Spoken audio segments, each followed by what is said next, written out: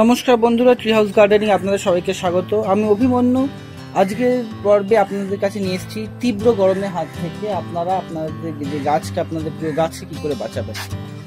আপনারা জানেন এখন এপ্রিল মাসের শেষের দিক, এখন আঠাশ, আজকে আঠাশ তারিখ এপ্রিল মাসে, এবং এখন তীব্র গরম চলছে।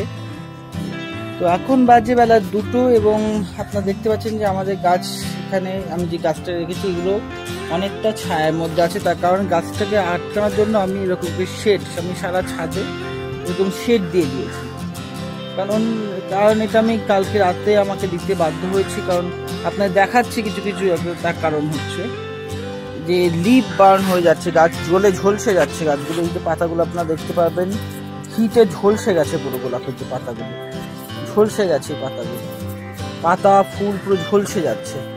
তো সেটার জন্য আজকে আমি কালকে রাত্রিবেলাটা দিয়েছি। এই পাতাগুলো গেল কালকেও মানে এর মধ্যে, এই টাইমের মধ্যে এগুলো পুরো শুকিয়ে গেছিল প্রায় একদম নুয়ে গেছিল কুচকে তো আজকে আপনারা দেখতে পাচ্ছেন পাতাগুলো অনেকটাই সতেজ আছে, আজকে কোনো অসুবিধা হয়নি।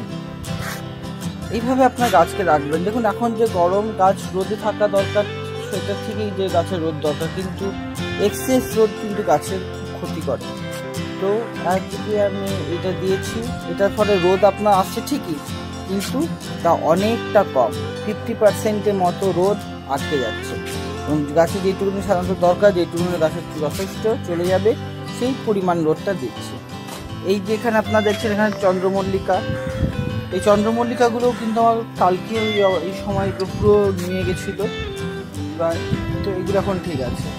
জবা গাছের অবস্থা আপাতত ভালো আছে, অন্যান্য দিনের থেকে খুব ভালো। আপনারা দেখতে পাচ্ছেন মাটি একেবারে শুকিয়ে কাঠ হয়ে গেছে। কি হারে ড্রাই এবং হিট চলছে আপনারা সব বুঝতে পারছেন। আপনার নিজেরাও ফিল করছেন যে গরম সর্বত্র পশ্চিমবঙ্গে এখন প্রচণ্ড গরম। তো এইভাবে আপনি রাখতে পারবেন। অন্যান্য সময় এই টাইমে জারভেরা একেবারে শুকিয়ে যায়। আজকে আপনারা দেখতে পাচ্ছেন যে আমার জারভেরাগুলো এখন সতেজ আছে, এইভাবে এই গাছগুলোকে আপনারা গরমে, তীব্র গরমের হাত থেকে আপনারা বাঁচাতে পারবেন। বন্ধুরা, এইটাই একমাত্র পথ। এখন আমার কাছে ছিল সবচেয়ে সহজে এবং সস্তায় খুব বেশি খরচও পড়ে না এটা করতে। এবং আপনারা নিজেরাও করে নিতে পারেন, লোকেরও দরকার পড়বে তো এই পদ্ধতি সবাই ব্যবহার করুন।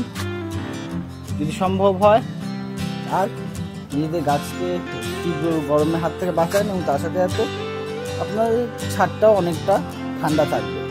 কারণ আমার ছাদে হিট ফিফটি পার্সেন্ট কম হিট পড়ছে ফলে ঘরটাও ঠান্ডা থাকবে। তা যেহেতুকুনি থাক বন্ধুরা, আবার পরবর্তী ভিডিওতে আপনার সাথে দেখা ধন্যবাদ।